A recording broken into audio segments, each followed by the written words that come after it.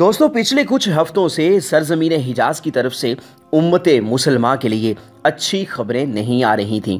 حالیہ دنوں میں پھیلے ہوئے وائرس کے خدشے کے پیش نظر عمرہ کے لیے زائرین پر پابندی لگائی گئی۔ پھر طواف کعبہ بھی بند کیا گیا اور اس کے بعد مسجد الحرام اور مسجد نبوی میں جمعے کی نماز پر پابندی لگائی گئی تھی اور پھر بعد میں دیگر نمازوں سے بھی روک دیا گیا۔ اور یہ خدشہ موجود تھا کہ اس برس شاید حج بھی ادا نہ کیا جا سکے۔ یہ تمام خبریں امت مسلمہ کو افسردہ کر رہی تھیں۔ بہت سے لوگ اسے اپنے اعمال کی سزا قرار دے رہے تھے کہ جن کی وجہ سے ان پر مسجد الحرام اور مسجد نبوی کے دروازے بند ہوئے ہیں۔ لوگ یہ سمجھ رہے تھے کہ اللہ تعالی ہم سے ناراض ہو چکا ہے اور سب اسی وجہ سے ہو رہا ہے۔ مگر کل مکہ مکرمہ سے ایک ایسی خبر موصول ہوئی جس نے دنیا بھر کے مسلمانوں کے قلب و ذہن کو معطر کر دیا۔ مسلمانوں کی آنکھوں کو ٹھنڈک پہنچی ہے اور ان کی روح کو سکون ملا ہے۔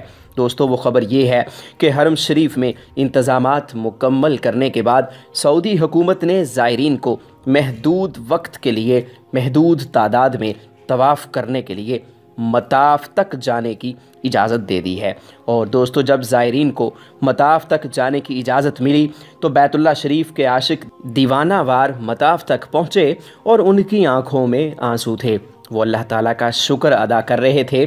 یہ زائرین بیتاب قدموں کے ساتھ خانہ کعبہ کی طرف بڑھ رہے تھے۔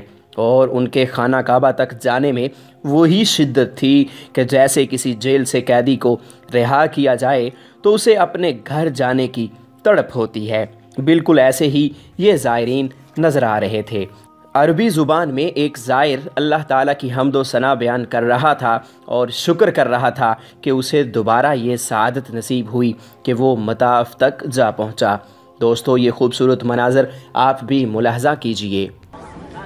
الحمد لله رب العالمين. تم الدخول إلى صحن المطاف ولله الحمد. والعدد يسير جدا. أسأل الله العظيم رب العرش الكريم أن يوفق كل من أعان على نشر هذا الفيديو وأن يتقبل منا ومن صالح الأعمال. اللهم وفق وسهل أمر كل من نشر هذا الفيديو. اللهم وفق وارحم ويسر لكل من نشر هذا الفيديو. اللهم لك الحمد حتى ترضى ولك الحمد إذا رضيت ولك الحمد بعد الرضا. اللهم أدم على بيتك العز والشرف والمهابة يا رب العالمين.